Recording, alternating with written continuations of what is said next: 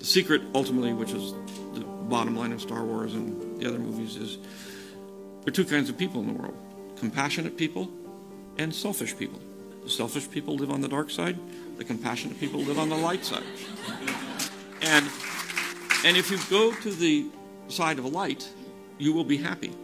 Because compassion, helping other people, not thinking about yourself, thinking about others, that gives you a joy that you can't get any other way. Being selfish, following your pleasures, always entertaining yourself with pleasure and buying things and doing stuff, you're always going to be unhappy. You'll never get to the point. You get this little instant shot of pleasure, but it goes away, and then you're stuck where you were before. And the more you do it, the worse it gets. You finally get everything you want, and you're miserable because there's no, there's nothing at the end of that road. Whereas if you are compassionate and you get to the end of the road, you've helped so many people